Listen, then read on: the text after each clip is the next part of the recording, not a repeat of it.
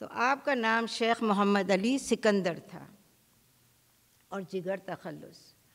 آپ کی تاریخ پیدائش اور جائے پیدائش کے بارے میں اختلاف ہے، جو ہمارے یہاں کوئی نئی بات نہیں ہے۔ اور خود سکندر کو بھی یہ نہیں پتہ تھا کہ وہ کب اور کہاں پیدا ہوئے۔ ایسے سوال پر آپ کا جواب ہوتا تھا کہ مجھے دن تاریخ سن پتے یاد نہیں رہتے اور مجھے ان چیزوں سے کوئی مناسبت بھی نہیں ہے۔ لیکن زیادہ تر کا اس بات پر اتفاق ہے کہ اپریل اٹھارہ سو نبے کی آپ کی پیدائش ہے اور مراد آباد جائے پیدائش۔ ابتدائی تعلیم مراد آباد میں حاصل کی، پھر اپنے چچا کے پاس لکھنؤ مشن اسکول میں نویں جواد تک آپ پڑھے۔ اسی اسنا میں والد کا انتقال ہو گیا اور تعلیم کا سلسلہ منقطع ہو گیا۔ یہاں یہ سوال پیدا ہوتا ہے کہ اتنی کم تعلیم کے باوجود اتنا اعلیٰ ادبی ذوق، شعر فہمی اور شعر گوئی کہاں سے نصیب ہوئی؟ تو خود جگر کے الفاظ میں کہ میرا خاندان مولویوں کا خاندان تھا، ماحول علمی اور ادبی تھا، عورتوں کی زبان ہمارے یہاں خالص تھی اور محظوظ، وہ اکثر ایسے محاورات کا استعمال کرتی تھیں کہ طبیعت خوش ہو جاتی تھی۔ اور آگے وہ لکھتے ہیں کہ میرے ابا، ان کے والد، چچا، تایا اور پھپھا زاد بھائی، یہ سب شاعر تھے۔ تو ظاہر ہے کہ ان کو شاعری ایک طرح سے ورثے میں ملی، پر باقی ہے کہ ان کی اپنی محنت بھی اس میں شامل ہے۔ ان کے ابا کا کلام باغ نظر کے نام سے شائع ہوا ہے۔ جن کی جگر کی تربیت اس ماحول میں ہوئی جہاں قدیم قدروں کی عزت اور احترام تھا، جہاں سے انہیں خودداری، محنت اور تحمل کا درس ملا۔ انسانی درد و محبت، شریفانہ جذبات بھی اسی خاندانی ماحول کی دین ہے۔ یہاں اپنی طرف سے ایک بات کہنا چاہوں گی کہ آج کل جو ہم کچھ اپنے معاشرے میں، سب معاشرے میں آپ دیکھ لو جو بھی، ہے نا، پریشانیاں ہو رہی ہیں تو اس کی اس کا سب سے بڑا سبب جو مجھے نظر آتا ہے وہ یہی ہے کہ تعلیم پر تو بہت زور ہے، لیکن تربیت کی اہمیت پہ زور نہیں ہے ہے نا؟ اور اس کی سخت ضرورت ہے ہمیں سخت ضرورت ہے۔ ہم تعلیم تعلیم تو اپنی جگہ پر ہے، اس کی بھی ضرورت ہے، لیکن تربیت جو بچوں کی ہے نا، وہ صحیح نہیں ہو رہی ہے۔ بہرحال تو خود جو کچھ بھی جگر کو ملا وہ ان کے خاندان اور طبیعت سے ہوا۔ جگر کی تربیت کی زندگی کے کئی پرپیچ اور خطر، خطرناک راہوں میں سنبھالے رکھا۔ اس ماحول کے زیر اثر شعر گوئی کی ابتدا بھی بچپن ہی میں ہو گئی۔ کوکب مراد آبادی کہتے ہیں کہ علی سکندر میرا ہم جماعت رہا ہے۔ جب اس کی عمر آٹھ سال کی تھی تو وہ شعر موضوع کرنے لگ گیا تھا۔ اس کی کاپیوں پر سبق کا حصہ کم اور تک بندیاں زیادہ ہوا کرتی تھی مگر اس وقت بھی بڑا اچھا خطاط تھا، ہے نا کیلی گرافر تھا۔ اتنے اس نے خط تغرا سے لے کر خط شکست تک کئی خطوط کی مشق کی تھی، ہے نا۔ یہ آٹھ طرح کے خطوط ہیں، اس میں سے انہوں نے سب کی مشق رکھی تھی۔ لیکن پروفیسر آل احمد سرور کا کہنا ہے کہ جگر تیرہ سال کی عمر سے شعر کہنے لگے تھے۔ ظاہر پختگی کلام میں آتے آئی ہے۔ ایک زمانے میں جگر کچھ ایسی جمودی کیفیت ان پہ چھائی کہ ایک ڈیڑھ سال تک شعر ہی نہیں کہا۔ جناب مولوی خورشید حسن، جنہیں سب بڑے بھیا کہتے تھے، آپ بجنور کے کالج کے پرنسپل تھے۔ جب آپ کو خبر ہوئی تو آپ انہیں اپنے ساتھ بجنور لے آئے اور ہر طرح سے وہ ماحول پیدا کرنے کی کوشش کی جس سے جگر کی طبیعت شعر کہنے پر مائل ہو جائے۔ مشاعرے منعقد کیے، ادبی محفظیں صحبتیں فراہم کی، سیر و تفریح کا سامان مہیا کیا، مگر جگر پر کوئی اثر نہ ہوا۔ تو ایک دن واقع پروفیسر صاحب ڈنڈا لے کر کھڑے ہوئے کہ شعر کہو ورنہ سر پھوڑ دوں گا۔ جگر نے فرار کی کوشش کی، مگر بڑے بھیا بھی ڈٹے رہے اور آخر شعر کہا کفر ٹوٹا اور غزل یہ تیار ہوئی کہ فصل حسن ہے ان کی، موسم شباب ان کا۔ شعر کہنے کا بھی جگر کا اپنا مخصوص انداز تھا۔ اکثر رات کی تنہائی میں شعر موضوع کرتے تھے۔ اس کے لیے ان کے پاس شفاف کاغذ، روشن سیاہی اور رواں قلم کا ہونا لازمی تھا۔ پہلے نہایت خوش خطی سے خط تغرا میں بسم اللہ لکھتے تھے۔ پھر غزل کی زمین کا پسند آنا ضروری شرط ہے، قافیہ کی فراوانی ہو یا نہ ہو۔ جب بہر پسند آ گئی تو اس پر کہنا شروع کر دیا۔ ایک شعر مکمل ہونے تک کئی بار لکھا جاتا تھا۔ اور کاغذ پر کئی نامکمل اشعار لکھے جاتے ہوتے تھے۔ ساتھ ہی طرح طرح کے نقش و نگار اور بیل بوٹے بھی بنے جا، بنائے جاتے تھے۔ جگر کو بیل بوٹے بنانے کا خاص ملکہ تھا۔ کاغذوں کا کہتے ہیں کہ ڈھیر لگ جاتا تھا۔ ایک کاغذ کے بعد دوسرا کاغذ شروع ہوتا تھا اور اسی اسی طرح سے اسی اہتمام کے ساتھ ہر کاغذ پر بسم اللہ لکھی جاتی تھی۔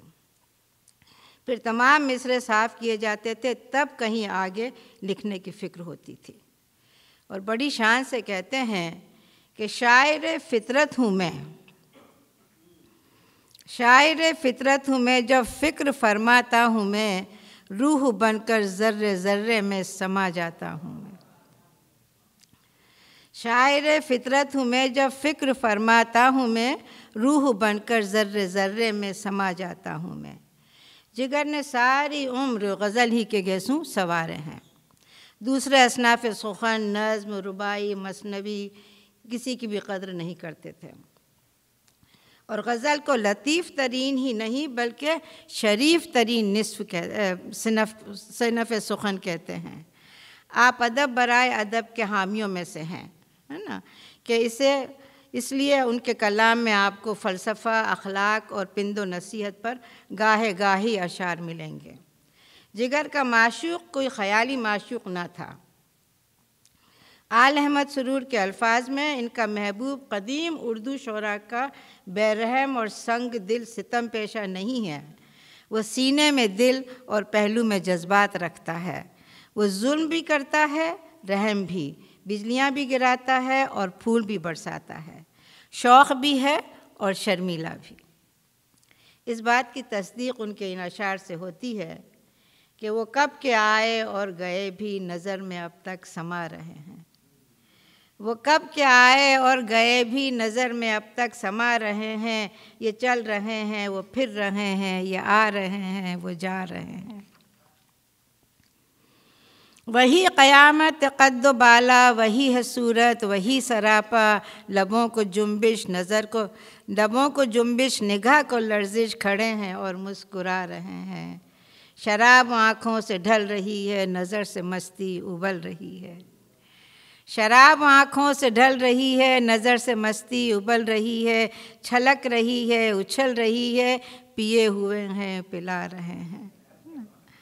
سو جگر کے کلام سے یہ صاف ظاہر ہے کہ انہوں نے واقع عشق کے دریا میں غوطہ لگایا ہے اور بقول ان کے ڈوب کے نکلے ہیں۔ یہ عشق نہیں آساں، اتنا ہی سمجھ لیجیے۔ بہت ہی پیارا شعر ہے۔ کہ عشق نہیں آساں، اتنا ہی سمجھ لیجیے، ایک آگ کا دریا ہے اور ڈوب کے جانا ہے۔ وہ رہ گزر عشق و عاشقی کے ہر پیچ و خم سے آگاہ تھے۔ محبوب کے خلوص دلبری اور آنائی جمال سے بھی خوب واقف تھے۔ عشق میں جو کچھ ان پر گزری، مجبوریاں، محرومیاں، ہجر، وصال، تلخ و شیریں، سب تجربات انہوں نے اشعار میں ڈھالے ہیں۔ ہم وسوخ کے ساتھ کہہ سکتے ہیں کہ جگر کی شاعری کم و پیش ان کی سیرت و شخصیت ہی کا عکس ہے۔ اور اس بات پر بھی ان کو خود بھی فخر تھا کہ میری زندگی اور میری شاعری دونوں ایک ہیں۔ آپ لکھتے ہیں کہ میری شاعری غزل ہی تک محدود ہے، چونکہ حسن و عشق ہی میری زندگی ہے۔ مجھے میرے شعر و ادب پر سب سے بڑا یہ فخر ہے کہ میری زندگی اور میری شاعری میں بالکل مطابقت ہے، تضاد نہیں ہے۔ اور آپ کا یہ شعر ہے کہ تکلف سے تسنا سے بری ہے زندگی اپنی۔ تکلف سے تسنا سے بری ہے زندگی اپنی۔ حقیقت شعر میں جو ہے، وہی ہے زندگی اپنی۔ ایک جگہ لکھتے ہیں کہ میں نے عشق کو ذلیل اور رسوا صورت میں ہرگز پیش نہیں کیا ہے۔ حسن ہو یا عشق، ان کے حقیقی تاثرات اور واردات کو تا امکان صحیح صحیح شاعرانہ انداز میں نمایاں کر دیا ہے۔ عظمت حسن پر یہ چند اشعار ملاحظہ ہو۔ میر کی طرح جگر بھی آداب محبوب کے قائل تھے۔ تو کہتے ہیں کہ اٹھتی نہیں ہے آنکھ مگر اس کے روبرو۔ اٹھتی نہیں ہے آنکھ، مگر اس کے روبرو نادیدہ ایک نگاہ کیے جا رہا ہوں میں۔ اٹھتی نہیں ہے آنکھ، مگر اس کے روبرو نادیدہ ایک نگاہ کیے جا رہا ہوں میں۔ اور اس شعر میں بھی عظمت حسن کا گہرا احساس پایا جاتا ہے کہ تیرا خلوص دل بری جان نہ ڈال دے اگر۔ تیرا خلوص دل بری جان نہ ڈال دے، اگر نالا بھی میرا مزمحل نغمہ بھی میرا بے اثر۔ نالا بھی میرا مزمحل نغمہ بھی میرا بے اثر۔ ادھر جگر کی شاعری فن کے معیار پر بھی پوری اترتی ہے۔ آپ نے روایت کا دامن کبھی نہیں چھوڑا۔ ایک اعلیٰ کلام کی سب خوبیاں آپ کے کلام میں ملتی ہیں۔ تشبیح اور استعارے، رمز و کنائے، محاورے کا بھی آپ نے خوب استعمال کیا ہے۔ سوز و گداس تو خیر ان کی شاعری کی جان ہے۔ زبان اور بیان کے ساتھ لفظ کے سوتی سوتی آہنگ، ہے نا، موسیقی بھی بخوبی واقف تھے۔ اس لیے کلام میں روانی اور ترنم پایا جاتا ہے، جس سے آپ کی غزل کو چار چاند لگ جاتے ہیں۔ وقت نہیں کہ اب ان سب پہ گفتگو الگ الگ کی جائے اور اشعار پیش کیے جائیں۔ آپ کے کلام کی سادگی اور پرکاری پر دو شعر پیش کرتی ہوں۔ کہ دل کو کیا کیا سکون ہوتا ہے۔ سادگی دیکھیے۔ کہ دل کو کیا کیا سکون ہوتا ہے جب کوئی آسرا نہیں ہوتا۔ اور عشق جب تک نہ کر سکے رخصوا کر چکے رسوا، ہے نا؟ یہ زی آپ کے لیے ہے۔ عشق جب تک نہ کر چکے رسوا، آدمی کام کا نہیں ہوتا۔ عشق جب تک نہ کر چکے رسوا آدمی کام کا نہیں ہوتا، اور یہ شعر بھی بہت پیارا ہے کہ دل گیا رونق حیات گئی۔ دل گیا رونق حیات گئی، غم گیا ساری کائنات گئی۔ دل گیا رونق حیات گئی، غم گیا ساری کائنات گئی۔ اور انسانی عظمت کا تصور بھی آپ کے کلام میں جگہ جگہ ملتا ہے۔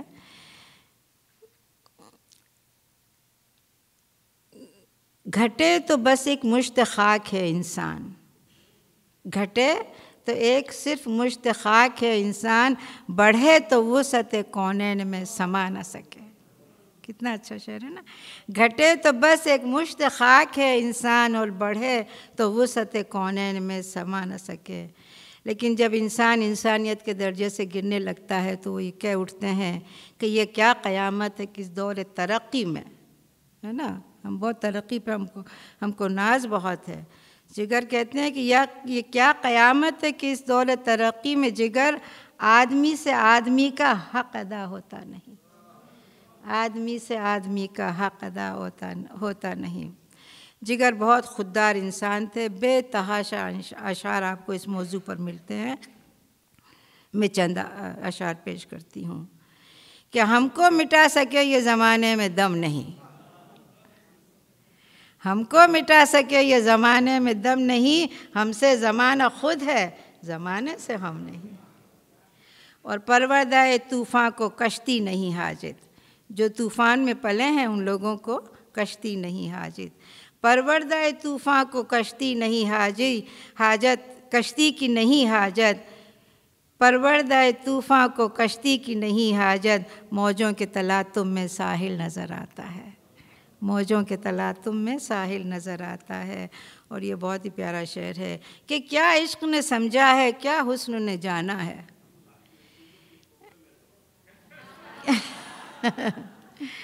کیا عشق نے سمجھا ہے، کیا حسن نے جانا ہے۔ ہم خاک نشینوں کی ٹھوکر میں زمانہ ہے۔ گو جگر غزل غزل کو شاعر ہیں، لیکن جب ملک انقلاب کے دور سے گزر رہا تھا تو خود ہی کہتے ہیں کہ فکر جمیل خواب پریشاں ہے آج کل۔ فکر جمیل خواب پریشاں ہے آج کل۔ شاعر نہیں ہے وہ جو غزل خواہ ہے آج کل۔ اور جب بنگال کا قحط پڑا اور یہ قدرت کی طرف سے نہیں تھا، ہے نا، آپ سب کو تاریخ سے معلوم ہی ہے کہ بنگال کا قحط نا قدرت نے نہیں کیا تھا، بلکہ سرمایہ داروں اور علا اور لوگوں نے اناج گودان میں چھپا چھپا چھپا لیا تھا۔ اور جہاں چوہے کھا رہے تھے، مگر انسان جو ہے وہ ایک ایک دانے کو ترس رہا تھا۔ تو جگر کا غزل، جگر کا قلم غزل خوانی نہیں کر سکا۔ اور قید بنگال کے عنوان سے انہوں نے ایک نظم لکھی ہے، وہ اس کے چند اشعار پیش کرتی ہوں۔ کہ بنگال کی میں شام و سحر دیکھ رہا ہوں۔ بنگال کی میں شام و سحر دیکھ رہا ہوں، ہر چند کے ہوں دور مگر دیکھ رہا ہوں۔ بچوں کا تڑپنا، وہ بلکنا، وہ سسکنا، ماں باپ کی مایوس نظر دیکھ رہا ہوں۔ انسان کے ہوتے ہوئے انسان کا یہ حشر، انسان کے ہوتے ہوئے انسان کا یہ حشر دیکھا نہیں جاتا ہے مگر دیکھ رہا ہوں۔ آج کل ہم لوگ بھی ہیں، دیکھا نہیں جاتا ہے، مگر دیکھ رہے ہیں۔ ہر چند کے آثار تو کچھ اور ہیں لیکن، ہر چند کے آثار تو کچھ اور ہیں لیکن، ایک خیر بھی در پردہ شر دیکھ رہا ہوں۔ اور یہ اشارہ ہے انگریزوں کی طرف کہ سیاد نے لوٹا تھا انادل کا نشے من۔ سیاد نے لوٹا تھا انادل کا نشے من۔ سیاد کا لوٹتے ہوئے گھر دیکھ رہا ہوں۔ اسی طرح کچھ اور نظمیں بھی آپ نے لکھی ہیں۔ ہلال عید پر ہے، یوم آزادی، تلک مہاتما گاندھی، ہے نا؟ تو جگر کو اپنے وطن سے بہت محبت تھی۔ بہت ساری باتیں ہیں جس پہ یہ کہا جا سکتا ہے کہ ان کی وطن سے محبت کس قدر تھی۔ اپنی تہذیب سے بھی انہیں بہت لگاؤ تھا۔ لیکن جب سینتالیس کے ہنگامے کے بعد ملک میں جو کچھ ہوا، وہ آپ سب اچھی طرح سے واقف ہیں۔ کسی کے پاس بہت کچھ تھا، کسی کے پاس کچھ بھی نہیں تھا۔ تو اس پہ جگر کہتے ہیں کہ چمن چمن ہی نہیں جس کے گوشے گوشے میں۔ شعر ملاحظہ ہو۔ کہ چمن چمن ہی نہیں جس کے گوشے گوشے میں کہیں باہر آئے، کہیں باہر نہ آئے۔ چمن چمن ہی نہیں جس کے گوشے میں کہیں باہر نہ آئے، کہیں باہر آئے۔ اور یہ میں قدا کی ساقی گری کی توہین ہے۔ یہ میں قدے کی یا ساقی گری کی ہے توہین، کوئی ہو جام بکف اور کوئی شرمسار آئے کوئی ہو جام بکف اور کوئی شرمسارا ہے۔ میں اپنی بات آل احمد سرور کے الفاظ پر ختم کرتی ہوں۔ آپ لکھتے ہیں کہ جگر صاحب ایک پاکیزہ شخصیت، ایک حساس دل اور ایک درد مند نگاہ رکھتے ہیں۔ ان کی شاعری میں خلوص ہے۔ ان کی شاعری کے مطالعے مطالعے کے بعد زندگی کا نشہ کچھ اور بڑھ جاتا ہے۔ یہ کائنات کچھ اور حسین ہو جاتی ہے۔ یہ حسن ان کی شخصیت اور صداقت کی یکرنگی سے آیا ہے۔ یہ حسن ان کی شخصیت اور صداقت کی یکرنگی سے آیا ہے۔ جگر کے یہاں جو کچھ ہے، وہ خون جگر سے لکھا گیا ہے۔ بہت بہت شکریہ۔